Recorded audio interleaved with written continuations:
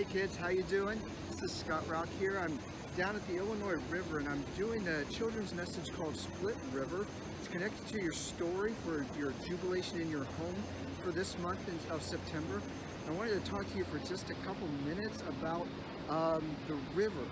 Now, wouldn't it be cool if I could come out here and I could make this river, the Illinois River, just split in half and I could walk to the other side on dry ground.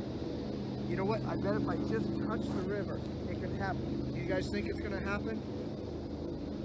Ah, nothing happened. Nothing happened. You know why? Because I don't need to get to the other side right now. Um, it, but the people of God in the story of the Exodus, they needed to get to another side.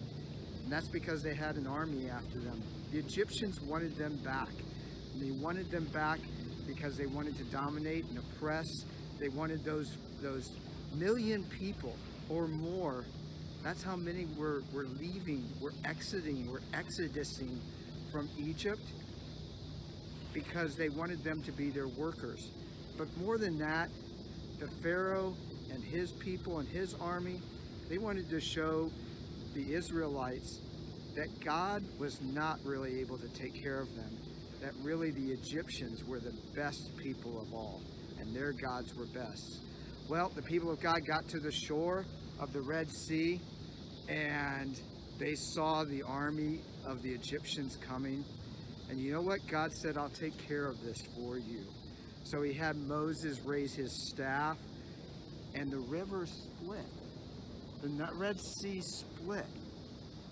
And they walked not on muddy ground, but on dry ground.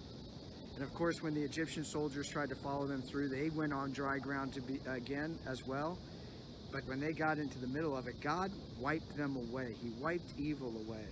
See, for us, the same thing happens in our baptism. When we're baptized, we're, water is put on us.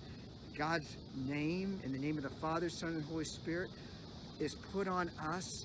And at that moment, heaven, eternal life, being with God, is given to us on God's terms. He uses water to wipe away who we are, our evil, our sin, and then he gives us life going through that water into being in his family.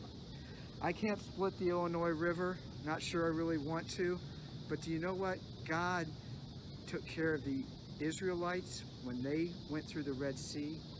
He uses water for us today to clean our hands at this time of our lives and all of our time, all of our lives as well. But he also uses water to save us from sin and death and the evil one who wants to destroy us. God's on our side. He's on your side too. Enjoy a life with him this month as you hear more about the, the story of the Exodus. Take care. We'll see you next month.